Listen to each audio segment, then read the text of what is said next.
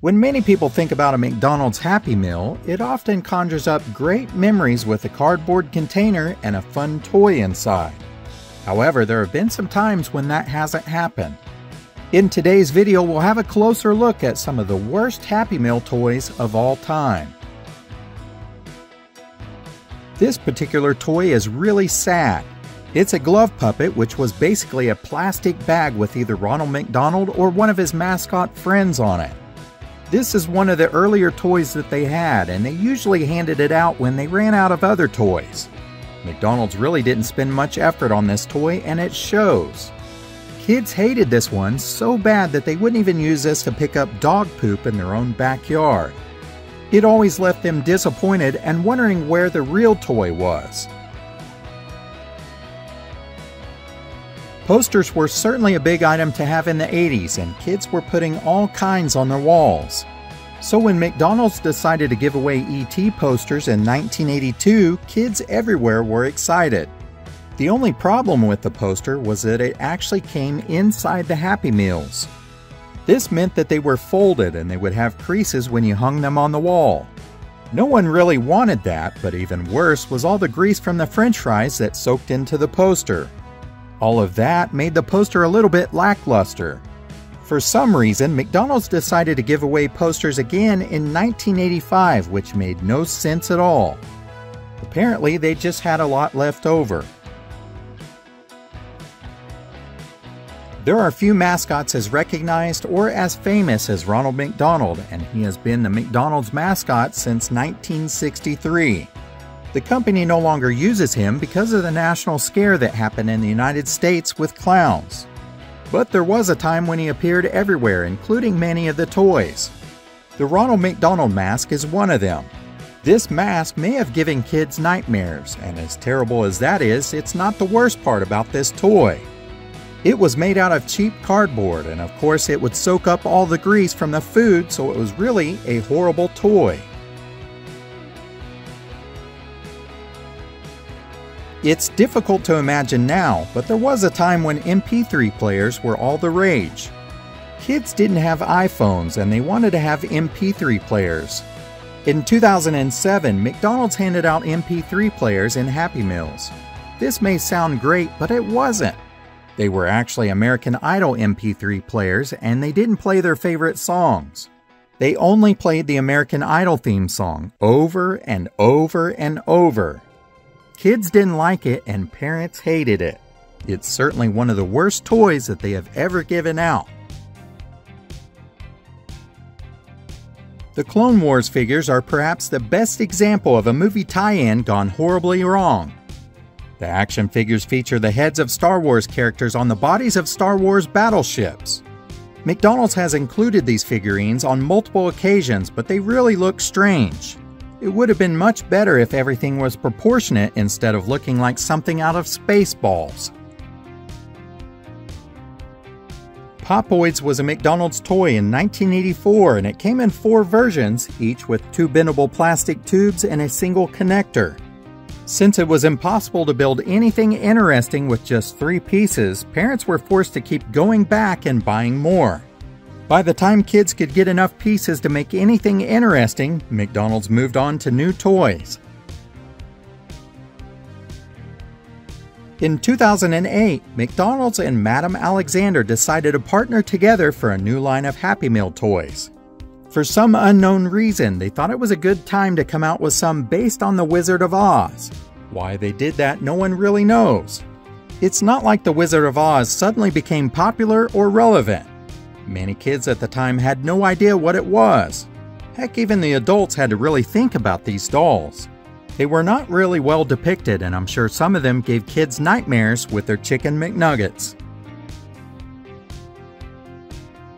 In 2011, some Swedish chain franchises handed out some temporary tattoos with poor taste. These tattoos had swastikas on them and they were included in every kid's meal. Parents were outraged that no one at McDonald's noticed this. The chain finally chalked up to the error by saying it was the fault of the Chinese company that made them. Needless to say, these were immediately removed. No one wants a supersize on that order. Michael Jordan is arguably one of the greatest basketball players of all time. In the 90s, McDonald's tried to capitalize on his popularity by offering the Michael Jordan Fitness Fun Challenge Happy Meal collection. They handed out small baseballs, footballs, and basketballs which deflated easily. They also had a jump rope which was too small for most kids to use. However, they did offer a frisbee with a Michael Jordan sticker on it, and most kids just took the sticker off and didn't care about any of the toys parents felt that their kids were shortchanged on this toy once again. The game of hockey has increased in popularity within the US thanks to Wayne Gretzky and the Mighty Ducks franchise. There were two movies, an animated show, as well as a whole host of merchandise. McDonald's also became part of that Mighty Duck craze in 1996. McDonald's offered hockey pucks that came with a figure on top. McDonald's advertised that you could actually play hockey with these, which you could, but if you did one shot or a pass, it would destroy the figure on top. These were Duck Pucky. McDonald's at one time offered the McDonaldland Airport toys in Happy Meals. These miniature planes came in different colors, but they were made out of plastic and didn't have one movable part. It's a great example of how horrible toys can be when they have a McDonald's theme. I'm sure they were cheap and they certainly looked like it. This is one toy that never flew with kids. In the 1990s, McDonald's released the Camp McDonaldland Camp Gear. The concept seemed great, but the collection consisted of a small canteen that wouldn't hold much water, small plastic utensils, a cup, and a plastic frying pan. The only thing this Camp McDonald Land gear was good for is if you went to Make Believe Land. It was impossible for actual activities outdoors. Overall, it left kids disappointed.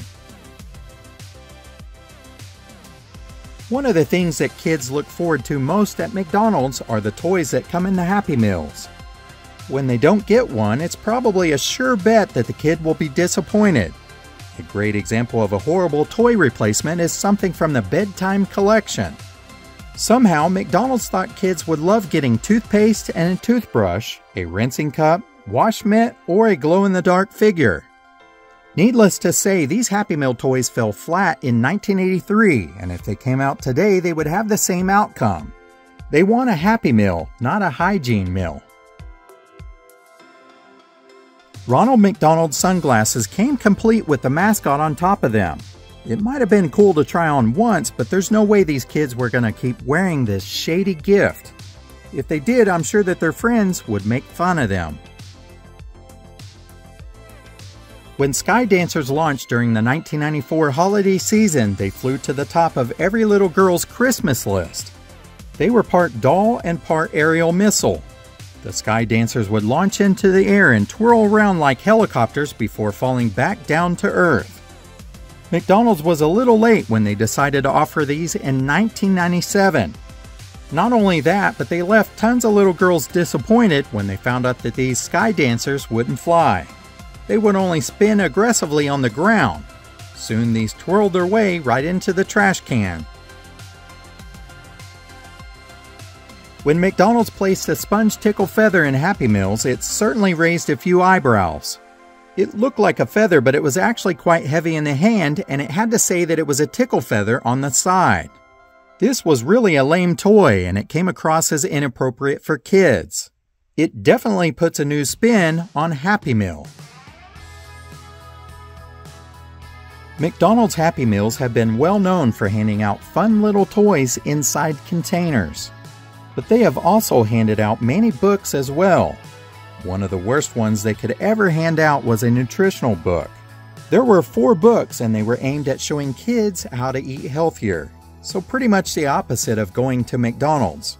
No one ever goes there to eat healthy, they just want fat and flavor. In 2016, McDonald's once again tried to fool consumers by promoting healthy lifestyles. They handed out fitness trackers in Happy Meals across Canada and the US. These trackers looked appealing to children with their neon wristbands and easy to navigate controls. These trackers ended up being recalled after they caused skin irritations. Apparently, whoever chose these toys made a rash decision. In 2004, McDonald's decided to offer a Happy Meal aimed primarily at health conscious adults. It was called the Go Active Happy Meal. The box included a water, a salad, and a booklet of exercises.